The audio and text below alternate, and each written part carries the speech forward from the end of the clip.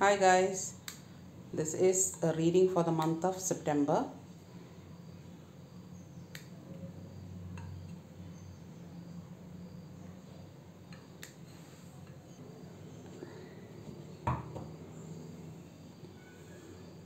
I'm going to pull out two cards. Please go intuitively deeper within you and choose the card that you are immediately drawn to.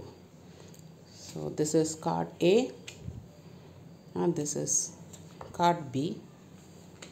So, I'll remove the rest of it.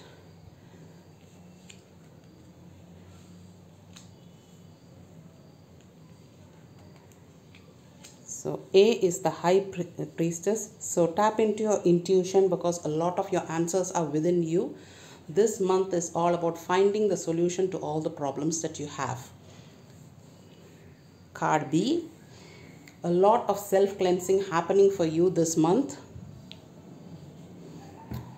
So don't get too drawn into the negativity of it because it is cleansing.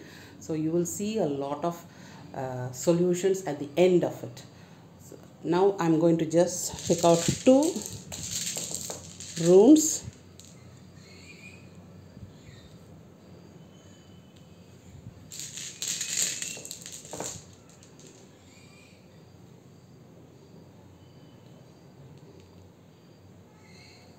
For a deeper meaning of these cards and the runes, please check the comments below. Thank you.